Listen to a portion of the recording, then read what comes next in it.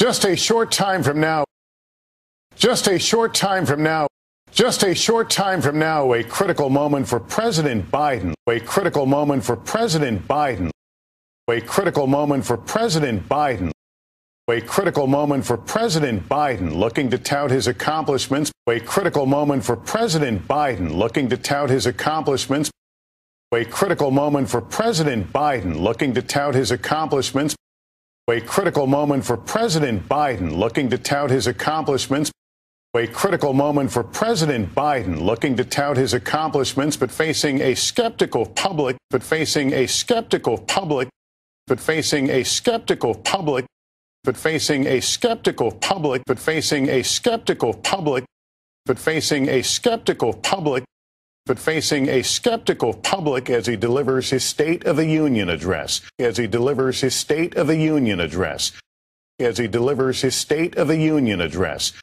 as he delivers his State of the Union address. Just a short time from now, a critical moment for President Biden looking to tout his accomplishments but facing a skeptical public. Just a short time from now, a critical moment for President Biden looking to tout his accomplishments but facing a skeptical public as he delivers his State of the Union address.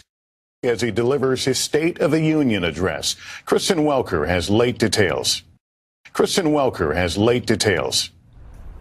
Tonight, President Biden set to address a divided Congress for the first time. Tonight, President Biden set to address a divided Congress for the first time. Tonight, President Biden set to address a divided Congress for the first time. Tonight, President Biden set to address a divided Congress for the first time. Tonight, President Biden set to address a divided Congress for the first time, delivering an optimistic message on the economy and State of the Union. Delivering an optimistic message on the economy and State of the Union. Delivering an optimistic message on the economy and State of the Union.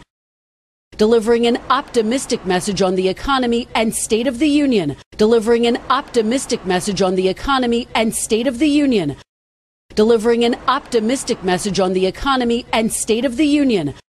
Delivering an optimistic message on the economy and State of the Union.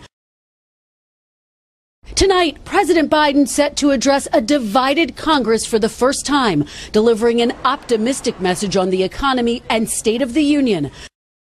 Tonight, President Biden set to address a divided Congress for the first time, delivering an optimistic message on the economy and State of the Union.